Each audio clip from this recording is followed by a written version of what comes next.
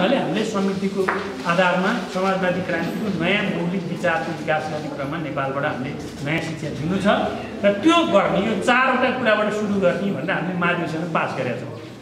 यो चारवटा कुरालाई ठिक ढङ्गले व्यवस्थापन गर्न सक्यो भने नेपालमा समाजवादी क्रान्ति हाम्रो नेतृत्वमा हुन्छ अरू स्टेपहरू मिलाउँदै जाने। यसको लागि के गर्नुपर्छ भन्दा पहिला संविधान हुबाहु कार्यान्वयन हुनु पऱ्यो।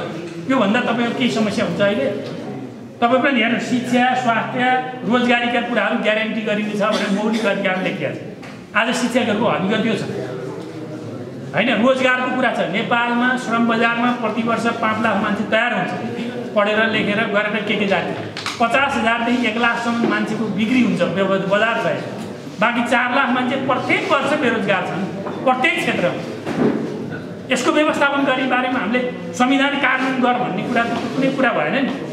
तपाईँहरूले पहिला बोल्दा अरू कुरा भन्ने होइन आफ्नो कुरा भन्दा। संविधानमै यसो भनिएको छ अस्ति पन्ध्र पर्सेन्ट बढाइयो अरूलाई बढाइयो मलाई किन बढाइएन? होइन? हामीलाई किन पक्षपात गर्यो यसरी संविधानमा के के गर्दा त्यो वैधानिक प्रतिस्पर्धा हुन्छ वैधानिक समस्या गर्न सजिलो हुन्छ अहिले? मुख्य रूपमा यदि फेरि उनीहरू अवैधानिक दिशा गयो भने हामी त्यति बेला फेरि के तरा तरिका अप्नाउनुपर्छ हामी अप्नाउँछौँ। पहिलो नम्बरमा संविधानको हुबाउ कार्यान्वयन पूर्ण पार्न दोस्रो संविधान निर्माण गर्दा हाम्रो पार्टीले केही कुराहरू नोट अफ किसिम राखेको छ जस्तै पूर्ण समानुपातिक हुनु पऱ्यो भने हामीले अहिले चुनाव लडिसक्नु छैन। मैले बिहान उहाँ बडा अध्यक्षजीलाई सोधेँ कति जानुभयो? आठ लाख दिन ला भन्नुहुन्छ खै कति जानु ए तानी तानी अझ कति छ कति के हो के हो? भन्नुहुन्छ। होइन मेरै म पाँच वर्ष मेरो निवर्तमान भन्नुभयो नि त भइसक्यो। होइन तैँले पनि भन्नुभयो केही छैन सकियो अब। तर मेरै अझै ऋण छिनु पाउनु भएन। सामान्य मान्छेले उठ्न सक्छु भन्ने ठाउँमै छैन। गर्न त मन थियो तर होइन सम्भवै छैन। यो ठाउँ आ- यस्तो हो तपाईँले मैले खोजेर निर्वाचन होइन। पूर्ण समानुपातिक हुने पार्टीलाई भोट माग्ने पार्टीले विभिन्न प्रतिनिधिहरू महिला पठाउने महिला पठाउने दलित पठ- दलित पठाउने पल्ले कहाँ पल्ले कहाँ पठाउने बाहुन क्षेत्रीबाट बाहुन क्षेत्री पठाउने प्रतिनिधि बनाएर पठाइदियो भने ढुक्क हुन्छ नि। पार्टी थापित पनि हुन्छ बलियो पनि हुन्छ भर बढ्दो पनि हुन्छ। व्यक्तिलाई त्यो लोड पनि हुँदैन। अहिले त बाह्र बन्ने उम्मेदवार हुनलाई त मन त छ तर खै भन्नु पर्यो सबैले जस्तो लाग्छ मलाई मन त छ गर्थेँ म तर भन्ने मान्छेको सबैको दिमागमा छ। यो गाँठो गलत हो यो। त्यसले हुँदैन यस न्याय हुँदैन। यो अन्यायपूर्ण निर्वाचन प्रणाली हो। त्यस कारण हामीले पूर्ण समानुपातिक हुनुपर्छ भने अध्यक्षले घोषणा गरिसक्नुभयो कौन्सिल जाओस् अनि नोट अफिसरलाई लिएर आन्दोलन गर्नु दोस्रो हामीले भने प्रत्यक्ष निर्वाचित कार्यकारी हुनु पऱ्यो। अहिले मान्छेको काम दाम धेरैको हराइसक्यो गाउँ घरमा हेर्नुहुन्छ भने। कहाँबाट आउँछ कताबाट आउँछ यस्तो भयो कि पुँजीवादले अब यहाँ धेरै गर्ने कुरा छैन। पुँजीवादले के बनायो इमान्दार पुँजीवादले के गर्थ्यो भने पैसा मुद्रालाई लगानी गर्थ्यो। लगानीबाट वस्तु उत्पादन हुन्थ्यो वस्तुबाट मुद्रा कमाउँथ्यो क्या। यो इमान्दार पुँजीवाद हो। मार्क्सको पालामा यस्तै हुन्थ्यो दुनियाँमा। अहिले के हुन्छ पैसाको पैसा। कुरै छैन। तपाईँलाई तपाईँको गोजीमा दुई रुपियाँ छ भने तपाईँलाई तिन रुपियाँ चाहियो त्यो कहाँबाट कसरी हो? पेसेवर अहिले त मुद्दा छैन देख्नुहुन्छ? ब्याचर मिटर ब्याजेहरूको बजारमा हल्ला। सहर बजारमा त गइसक्नु छैन। मान्छेको काम छैन त्यहाँ। एउटाको रोजगारी हुन्छ कोही श्रीमती बसिया हुन्छ श्रीमान बसिया हुन्छ मान्छे विदेश हुन्छ बच्चा लिएर बसिया हुन्छ अनि उस्तै उस्तै भेला पऱ्यो। आज पैसा उठाऊँ भोलि पैसा उठाऊँ ल पैसा बढ्छ भन्दा पैसाको पैसा। हुँदाहुँदै अनि एउटा फटाले खाइदिन्छ एउटा बिन्दुमा गएर ठगेर खान्छ अनि मूल्य चिलबिल। घरवासी हुने कसको त लालपुरकै जानेहरू लालपुर त आज नदिए भोलि चाहिँ लालपुर लालपुर त लगाएर राखेको छ। भोलि बिहान दस बजीसम्म फिर्ता गरेपछि गरी नगएर त्यो लालपुर त चप भनिदिन्छ अन्त गएन आतङ्क छ मिटर ब्याजी आतङ्क। यो पुँजीवादले ल्याएको भित्रियाको समस्या हो। हुन पर्थ्यो के? तपाईँसँग भएको पैसा लगानी गर्ने। लगानी गरेपछि तपाईँले के वस्तु उत्पादन गर्ने? उत्पादन हुन्छ। त्यो उत्पादन बेचेर नाफा कमाउने। अहिले पाइयो कि? त्यो जति गरे नि हुन्छ। तपाईँ बाख्रा पाल्नुहोस् खसी बुगा हुन्छ कुखुरा पाल्नुहोस् कुखुरा हुन्छ। बेच्नुहोस् तपाईँ थोरै लगाइदिनुहोस् धेरै पैसा आउँछ। यो लिगल वैधानिक बाटो हो कमाउने पुँजीपति हुने। तर अहिले मान्छेहरूलाई के चाहियो? पैसाको पैसा। पैसा दिने पैसा चाहियो। तँलाई म आज दस रुपियाँ दिन्छु तैँले मलाई भोलि बिस रुपियाँ दिनुपर्छ। हुन्छ भन्छ मान्छे बाध्यता। अनि यसरी फस्दै फस्दै जानेर पुँजीवाद चाहिँ यो भुल चक्करमा फँसिएको छ। मुद्राको मुद्रा नै पुँजीवादको साँझवादको अहिलेको जटिलता हो। मुद्रालाई उत्पादन उत्पादन वस्तु वस्तुबाट मुद्रा हुन्थ्यो भने समस्या हुँदैन। यतातिर म गइनँ अहिले धेरै लाग्छ फेरि होइन? त्यसकारण मैले भन्न खोजेको कुरा के भने नेपालको सन्दर्भमा अहिले हामीले गर्न खोजेको कुरा चाहिँ त्यसरी होइन। होइन? आत्मनिर्भर अर्थतन्त्र निर्माण गरौँ।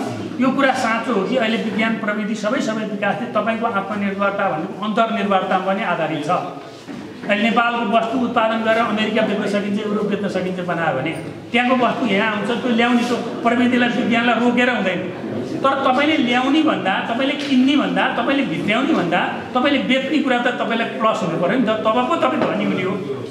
तपाईँसँग गोजीमा भएको छ बिस हजार जागिर खानुहुन्छ भने तपाईँको खर्च दस हजार मेन्टेन हुनु पऱ्यो नि त। दस हजार प्रति महिना कमाउनु भयो भने तपाईँलाई नाफा हुने हो। तपाईँले दसवटा खसी बनाउनुहुन्थ्यो भने पाँचवटा खर्च चल्छ पाँचवटाले नाफा हुने हो। यसरी नाफा हुने गरी हामीले के सकिन्छ गरौँ अल्छी भएर हुँदैन। श्रम नभएर मान्छे बिग्रियो अहिले धेरै मान्छेको रोग भइसक्यो। अहिले हस्पिटल हेर्नुहोस् यो कोरोनापछि त हस्पिटल चोकेपछि छ। तपाईँ सन्चो मान्छे जानुभयो भने पनि हस्पिटल गएपछि धुलो पिठो भएर निस्किँदैन कसैको निको हुन्छ कसैको रोगै निको हुँदैन।